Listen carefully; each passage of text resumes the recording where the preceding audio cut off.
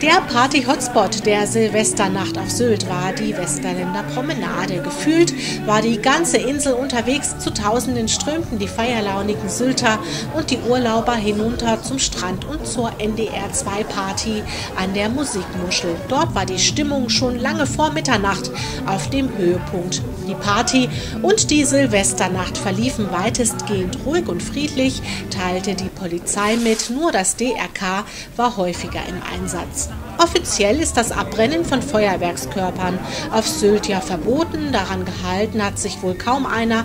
Sylt ist in der Silvesternacht seit Jahren ein kleines gallisches Dorf. Trotz des Verbotes lief am Westerländer Nachthimmel ein grandioses Himmelsspektakel ab.